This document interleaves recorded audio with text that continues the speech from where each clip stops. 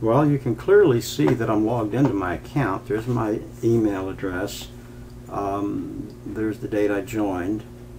I've got a trial of two gigabytes of storage. I, I didn't use any. Um, I've just been very busy for, for a while. So um, let's just see how much a renewal would cost.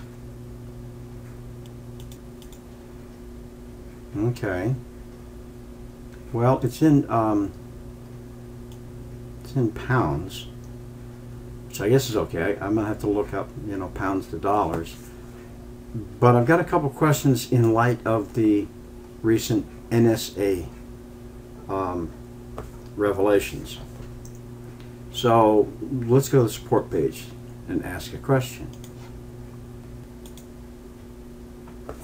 Well, the page wasn't found. The, the support page wasn't found. And it wants me to log in. The page that you are looking for has not been found. Try one of these, try one of the links. Well, wow. Um, you know, I'm not really very impressed with this um, at all.